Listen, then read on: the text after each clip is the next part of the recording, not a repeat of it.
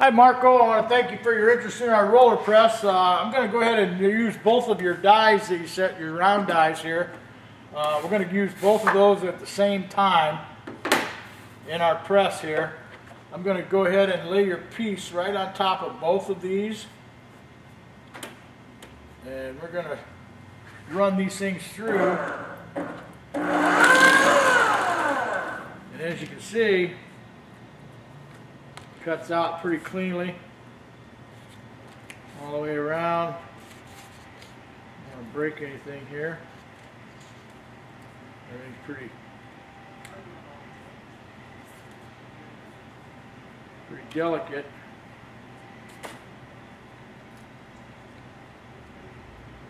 And it looks like you just pop this center piece out. And there's your piece that you've got for your smaller pattern. And then your other one, you just have to take and slowly loosen up the pieces in here.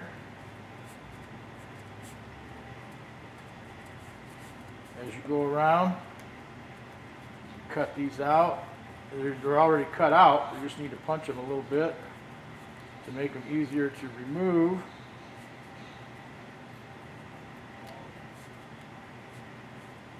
As I'm going around, just making sure all the, the edges are loose before I try to do any pulling so that we can get a nice piece out of here. Uh, these pieces are very, very delicate here, but there you go. Everything cuts out pretty good. You throw that piece away. You've got your other piece already taken care of. The other smaller one with your cuts already in it. Very nice and neat all the way around it. I'll go ahead and uh, I want to show you one more with your longer die.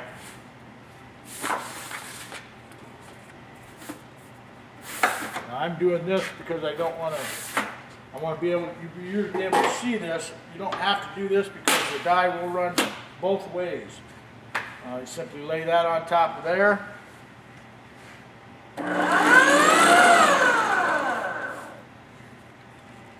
Like I said, there's your, there's how that cuts out. All your pieces come out like that. And you have them all ready to cut. All your pieces are nice and very clean. I'll send you the samples and the video and your dies and we'll discuss it. Thank you.